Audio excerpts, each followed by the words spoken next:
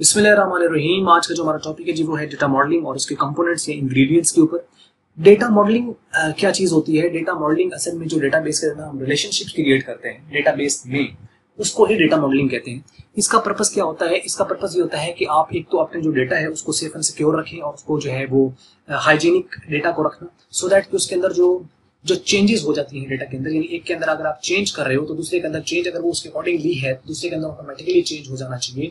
ये आपके कुछ रिलेशन हैं जो आपस में क्रिएट किए जाते हैं।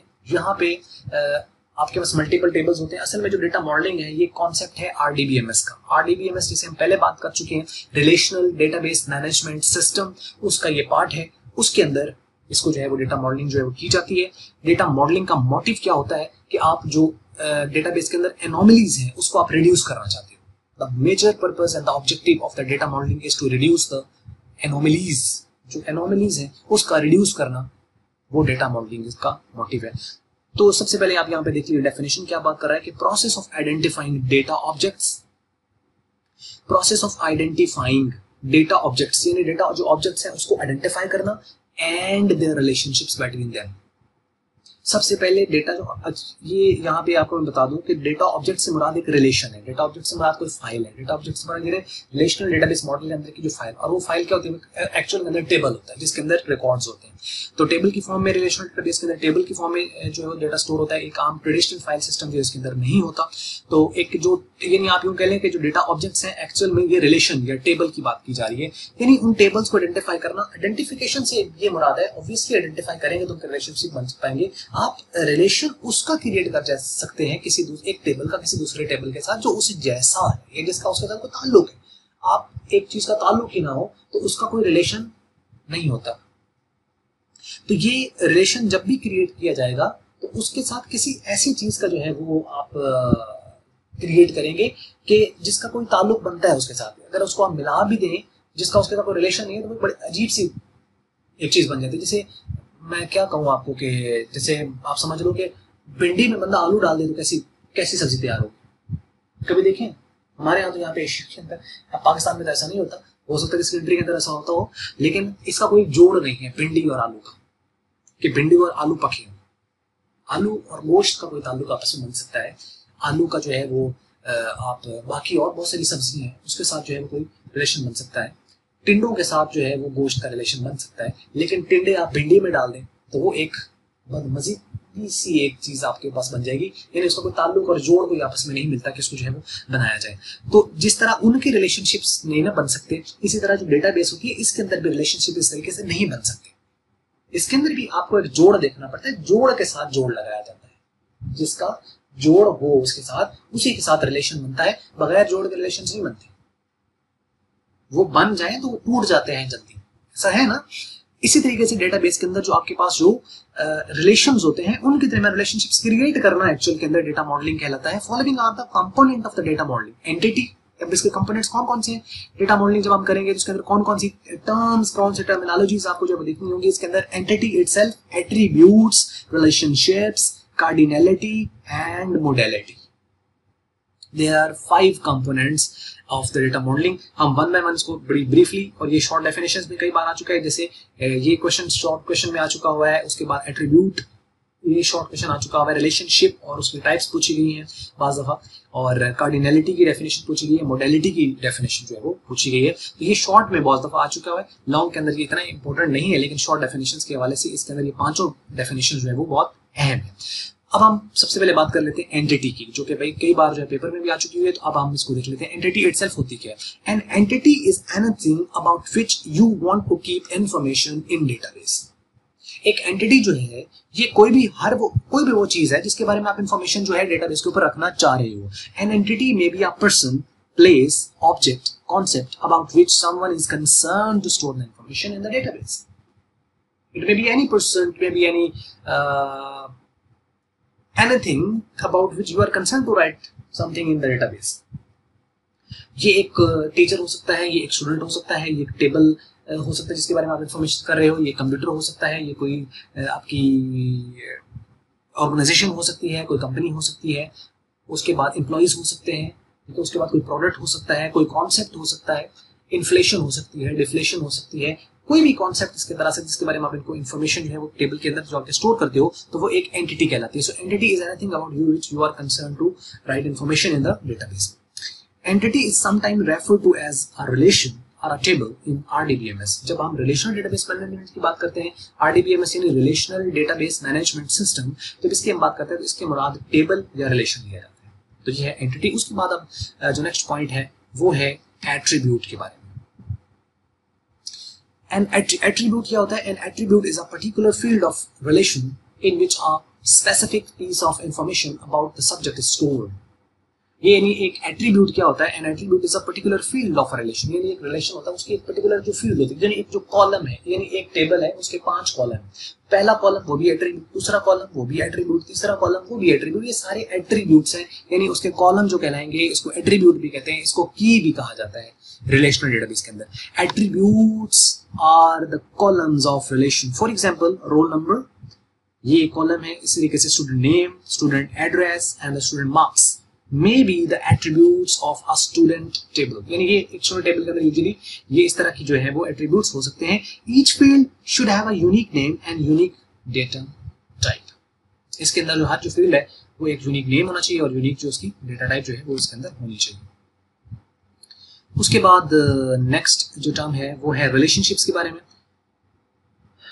ये बात आपको समझ लगी होगी field should have unique name उसका एक नाम यानी यूनिक नेम से क्या मतलब एक फ़ील्ड का एक आपने नाम जो है वो रोल नंबर रखा है तो दूसरी फ़ील्ड का नाम रोल नंबर नहीं हो सकता। और उसके अंदर जो डेटा uh, टाइप है वो भी यूनिक होनी चाहिए। मतलब यूनिक से क्या मराद है उसके अंदर यूनिक वैल्यूज़ होनी चाहिए। मतलब उस टाइप की वैल्यू होनी चाहिए। अगर आपने नंबर सेलेक्ट कर लिया तो उसके अंदर आप अल्फाबेट्स एंटर नहीं कर सकते। रिलेशनशिप्स क्या है? Uh, relationships are the connections या links which indicates that how the entities are connected to each other एक entity दूसरी entity के साथ किस तरीके से connected है कि एक में कौन सा change किया जाए तो दूसरे के अंदर change आएगा जिस तरीके से functions होते हैं इसी तरीके से ये relations होते हैं all the relationships are bi-directional relationships can be one to one one to many many to many many to one and recursive relationships ये इसके अंदर जो है कैटेगरीज होती हैं रिलेशनशिप्स की अगर आपसे ये पूछा जाए कि रिलेशनशिप्स कितने तरह के होते हैं कौन कौन से होते हैं तो वो आप यहाँ पे ये बता सकते हैं कि वन टू वन हो सकता है वन टू मैनी हो सकता है मैनी टू मैनी हो सकते हैं मैनी टू वन हो सकता है रिकर्सिव रिलेशनशिप्स हो सकते हैं अब आते हैं वन टू वन की तरफ़ one entity is associated with another entity for example one manager is associated with one department. So the relationship of a manager with his department is a one-to-one relation. एक manager एक department का एक manager होगा overall ठीक है? उसके under उसकी hierarchy अलग हो सकती है, यानी एक overall operational manager assistant manager ये हो सकते हैं ऑर्गेनाइजेशन के अंदर, लेकिन एक ओवरऑल जो हेड होगा, जो एक डिपार्टमेंट को हेड कर रहा है, जो एक रिपोर्ट कर रहा है, वो ऑब्वियसली एक ही होगा। वो सारे उसको रिपोर्ट करेंगे और वो जाके आगे कंपनी को रिपोर्ट करेगा। तो इसलिए हम कह सकते हैं कि जो मेन एक, जो मैनेजर है, जिसे, जैसे कि आपका एक फ्लोर मैनेजर होता है तो वो फ्लोर मैनेजर वहाँ का है। है, उस पर्टिकुलर फ्लोर का है। वो आगे पे रिपोर्ट कर रहा होता है ऑर्गेनाइजेशन को। तो ये वन टू वन रिलेशन है। वन टू मैनी एक एंटिटी अगर बहुत सारी एंटिटी से रिलेट कर जाए तो वन टू मैनी है। One entity associated is associated with many other entities for example our company is associated with all its working employees ये वन टू मैनी है। कंपनी एक है और उसके साथ आने वाली जो उसका ऑर्गेनाइजेशनल चार्ट है, जिसके अंदर बहुत सारी जो है वो, उसके मेंबर स्टेक होल्डर्स आते हैं, उसके तरह जो रिलेशन है, वो वन टू मैनी है। और इसके अलावा बहुत सारी आप एग्ज़ाम्पल जो है वो इसके अंदर जो है वो दे सकते हैं। और उसके बाद आ जाता है जी आपके पास नेक्स्ट और वो है many to many many entities are associated with many other entities for example in company many employees are associated with multiple projects बहुत सारे एम्प्लॉय बहुत सारे प्रोजेक्ट एक ए एम्प्लॉय है, वो प्रोजेक्ट ए पे भी काम कर रहा है प्रोजेक्ट बी पे भी काम कर रहा है। समझ लगी? तो मल्टीपल प्रोजेक्ट्स हैं मल्टीपल एम्प्लॉइज हैं मल्टीपल प्रोजेक्ट मल्टीपल एम्प्लॉय ले रहे हैं और मल्टीपल एम्प्लॉय मल्टीपल प्रोजेक्ट के अंदर एसोसिएट कर रहे हैं तो इसका मतलब ये कौन सा हुआ? ये मैनी टू मैनी हो गया। और उसके बाद जो है मैनी टू वन जो होता है, उसके अंदर क्या होता है कि जैसे many employees are associated with one अगर एक प्रोजेक्ट के साथ हो तो वो मैनी टू वन हो गया और मैनी टू मैनी के अंदर क्या है? मल्टीपल प्रोजेक्ट्स और मल्टीपल एम्प्लॉइज उसके बाद रिकर्सिव रिलेशनशिप्स जो हैं, ये क्या होते हैं? When an entity is related to itself in a relation, it is, it would be called a recur recursive का मतलब होता है रिकर्स कर देना, यानी उसको रिकर्स का मतलब होता है, यानी उसको रिवर्ट बैक अपने साथ ही अगर उसका कोई एसोसिएट रिलेशनशिप हो तो वो आपका रिलेशन कौन सा कहलाएगा? Recursive for example an employee who is also a manager in an organization or a university student who is also a teacher at his university. For example, जैसे अक्सर आप देखते हैं कि एक स्टूडेंट है एक ऑर्गेनाइजेशन का लेकिन उसको चांस दिया जाता है कि आप जो है वो लेक्चरशिप के लिए अप्लाई कर सकते हैं और आप लेक्चर जो पहले सेमेस्टर के जो स्टूडेंट्स हैं उनको आप लेक्चर डिलीवर कर सकते हैं। तो ये आपका अगर रिलेशनशिप देखा जाए तो रिकर्सिव रिलेशनशिप बनेगा क्योंकि वो ही अपने आप को रिप्रेजेंट भी कर रहा है। स्टूडेंट भी है और साथ टीचर भी। तो उसके बाद आ जाता है नेक्स्ट टर्म वो है cardinality cardinality number of records in a relation is called cardinality of the relation. The cardinality of a relation changes as new record is added or existing record is deleted. Cardinality changes. Cardinality क्या है? How many records are there in a uh, table that is known as cardinality? कितने उसके अंदर जो है वो, वो records होते हैं और कार्डिनलिटी चेंज होती है जैसे ही उसके आपके रिकॉर्ड चेंज होता है। यानी अगर आप नया रिकॉर्ड ऐड करेंगे तो कार्डिनलिटी बढ़ जाएगी और अगर आप कोई रिकॉर्ड डिलीट करेंगे तो कार्डिनलिटी रिड्यूस हो जाएगी। Table with 50 record has a cardinality 50 in a relation cardinality can be zero one or more cardinality zero भी होगी नहीं ज़ीरो कब होगी? जब उसका कोई रिकॉर्ड नहीं होगा तो कार्डिनलिटी ज़ीरो अगर एक रिकॉर्ड है तो उसकी कार्डिनलिटी वन है और एक से ज़्यादा है तो वो मोर कार्डिनलिटी उसकी बन जाएगी।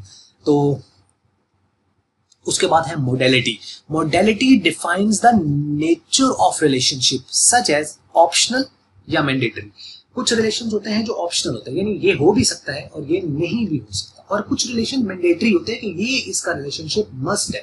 ये आपका जैसे आप फ़ील्ड फॉर्म फिल करें बाज दफ़ा तो उसके साथ एक फ़ील्ड मैंडेटरी होती है। जैसे कि आप आ, उसके साथ स्टेरिक लगा होता है। तो स्टेरिक का मतलब होता है कि इसको आपने छोड़ना नहीं है ये लाजमी आप इसको जो है वो, इस पर जो भी इंफॉर्मेशन आपको लिखनी है, वो आपको लिखनी होगी।